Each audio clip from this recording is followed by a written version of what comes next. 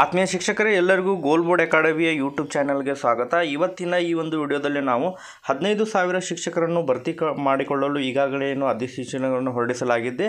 ಆ ನೇಮಕಾತಿಗೆ ಸಂಬಂಧಿಸಿದಂತೆ ಇವತ್ತಿನ ಈ ಒಂದು ವಿಡಿಯೋದಲ್ಲಿ ನಾವು ಶಿಕ್ಷಣ ಇಲಾಖೆ ಜಿಲ್ಲಾವಾರು ಮತ್ತು ವಿಷಯವಾರು ಹುದ್ದೆಗಳ ಮರು ಹಂಚಿಕೆ ಮಾಹಿತಿಯನ್ನು ಪ್ರಕಟಿಸಿದೆ. ಅದರ ಬಗ್ಗೆ ಸಂಪೂರ್ಣವಾದಂತಹ ಮಾಹಿತಿಯನ್ನು ಈ ಒಂದು ವಿಡಿಯೋದಲ್ಲಿ ತಿಳಿದುಕೊಳ್ಳೋಣ. ಇದಕ್ಕಿಂತ ಪೂರ್ವದಲ್ಲಿ ನೀವು ನಮ್ಮ ಚಾನಲನ್ನು ಸಬ್ಸ್ಕ್ರೈಬ್ ಆಗದೇ ಇದ್ದರೆ ಈ ಕೂಡ ನಮ್ಮ ಚಾನಲ್ ಸಬ್ಸ್ಕ್ರೈಬ್ ಆಗಿ ಅದರ ಜೊತೆಗೆ ನೋಟಿಫಿಕೇಷನನ್ನು ಆನ್ ಮಾಡ್ಕೊಳ್ಳಿ. ಇದರಿಂದ ನಿಮಗೆ ನಾವು ಹಾಕುವಂಥ ವಿಡಿಯೋಗಳು ಲೇಟೆಸ್ಟ್ ಅಪ್ಡೇಟ್ಗಳು ದೊರಕುತ್ತವೆ. ಹಾಗಾದರೆ ಬನ್ನಿ ಫ್ರೆಂಡ್ಸ್ ಇವತ್ತಿನ ಈ ವಿಡಿಯೋವನ್ನು ಪ್ರಾರಂಭಿಸೋಣ.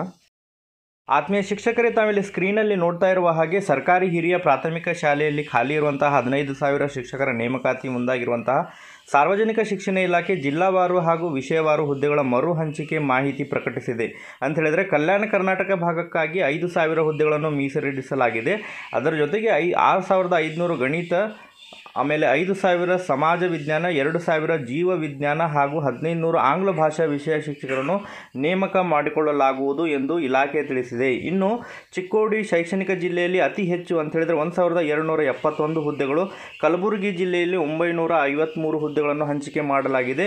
ಉಳಿದ ಜಿಲ್ಲೆಗಳ ಪೈಕಿ ಕನಿಷ್ಠ ನೂರಕ್ಕೂ ಹೆಚ್ಚು ಹುದ್ದೆಗಳಿಂದ ಗರಿಷ್ಠ ಐದುನೂರಕ್ಕೂ ಹೆಚ್ಚು ಹುದ್ದೆಗಳ ಹಂಚಿಕೆ ಮಾಡಲಾಗುವುದು ಎಂದು ಇಲ್ಲೇ ತಿಳಿಸಲಾಗಿದೆ. ಅದರ ಜೊತೆಗೆ ಸರ್ಕಾರಿ ಪದವಿ ಪೂರ್ವ ಕಾಲೇಜಿನಲ್ಲಿ ಹೊರಗುತ್ತಿಗೆ ಆಧಾರದ ಮೇಲೆ ಒಂದು ಸಾವಿರ ಗ್ರೂಪ್ ಡಿ ಹುದ್ದೆಗಳನ್ನು ನೇಮಕ ಮಾಡಿಕೊಳ್ಳಲಾಗುವುದು ಎಂದು ಉನ್ನತ ಶಿಕ್ಷಣ ಸಚಿವ ಡಾಕ್ಟರ್ ಅಶ್ವಥ್ ನಾರಾಯಣ್ ಅವರು ಇಲ್ಲಿ ಮಾಧ್ಯಮಕ್ಕೆ ತಿಳಿಸಲಾಗಿದೆ. ಓಕೆ, ಆತ್ಮೀಯ ಸ್ನೇಹಿತರೆ, ನಾವು ನೀಡ್ತಾ ಇರುವಂತಹ ಮಾಹಿತಿ ನಿಮಗೆ ಯೂಸ್ಫುಲ್ ಅನಿಸಿದರೆ ನಮ್ಮ ವಿಡಿಯೋನ ಲೈಕ್ ಮಾಡಿ ಶೇರ್ ಮಾಡಿ, ಅದರ ಜೊತೆಗೆ ನಮ್ಮ ಚಾನಲ್ ಸಬ್ಸ್ಕ್ರೈಬ್ ಮಾಡಿ ವಿಡಿಯೋನ ಸಂಪೂರ್ಣವಾಗಿ ನೋಡೋದಕ್ಕಾಗಿ ಧನ್ಯವಾದಗಳು.